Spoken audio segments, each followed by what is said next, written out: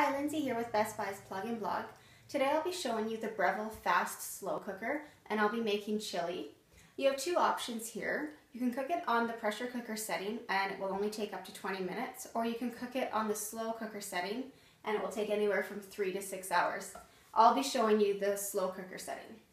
So to power on, you need to choose your option here.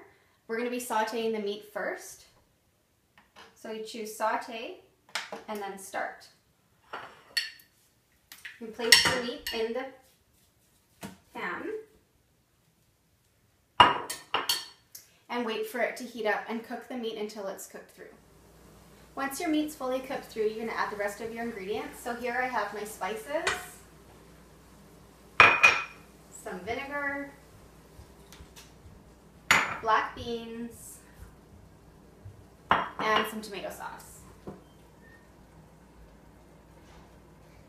Once you've added all of your ingredients, you're just gonna cook through for about two minutes and then we'll turn it on to the slow cooker setting.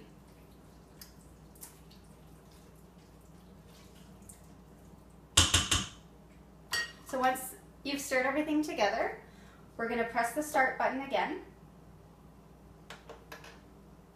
We're gonna change the setting to slow cooker.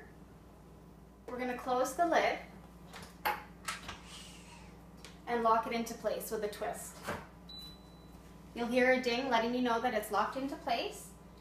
We have it on chili and stew.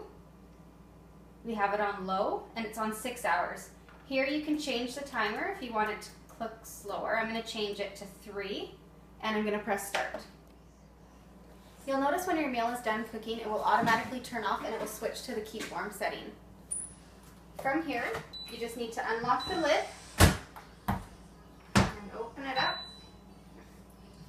Give it a quick stir and your meal is ready to be served.